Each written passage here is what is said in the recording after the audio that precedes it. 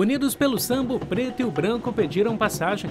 O bloco Não Empurra Que Sai veio representando a Grande Alegria, uma das regiões mais populosas da cidade. O orgulho de morar bem tomou conta dos componentes. 20 anos que a escola não saía na rua, nem bloco, nem escola de samba, nada. E resolvemos assim, em última hora, formar o nosso bloco de embalo Não Empurra Que é pior.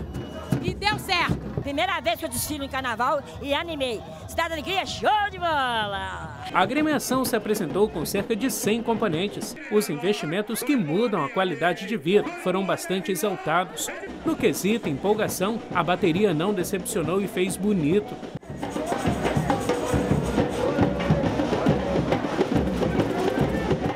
E estamos juntos, todo mundo junto. Isso aqui é todo mundo aqui, uma família da Cidade Alegria. Nem a forte chuva pouco antes do desfile oficial foi suficiente para esfriar os ânimos do bloco Vai Com Tudo. O enredo Mundo da Fantasia foi uma viagem ao universo infantil. O samba no pé tomou conta de toda a avenida. Logo na comissão de frente, meninas e meninos provaram que sambar se aprende desde cedo, antes de ir à escola.